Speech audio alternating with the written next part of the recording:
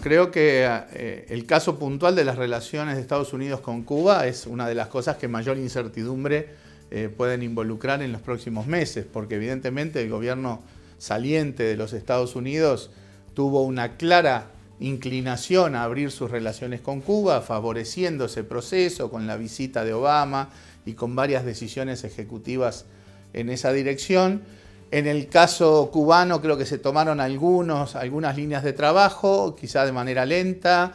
Hay una discusión evidentemente en Cuba también de cómo seguir y por dónde seguir aún en ese marco de apertura, que ahora puede verse interrumpido por un nuevo enfoque del nuevo gobierno estadounidense hacia, hacia la isla, ¿verdad?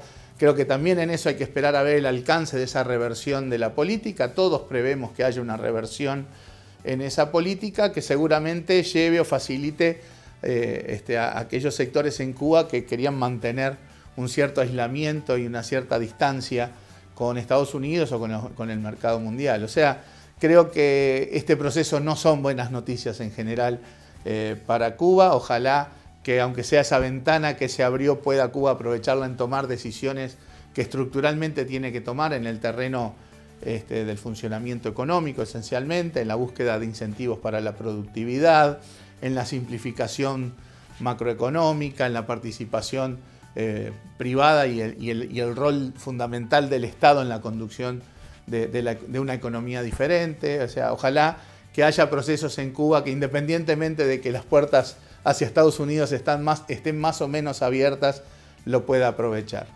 Eh, pero bueno, está esencialmente en manos de los cubanos eh, ver cómo avanzan en, esa dirección eh, y ojalá que, el proceso ayude a tener a una Cuba mucho más integrada a los mercados mundiales, a los organismos multilaterales.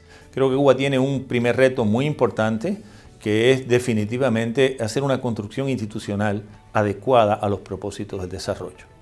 Tiene otro gran reto que es dar un gran salto tecnológico. Lo necesita en casi todos los aspectos de, los sectores productivos del país.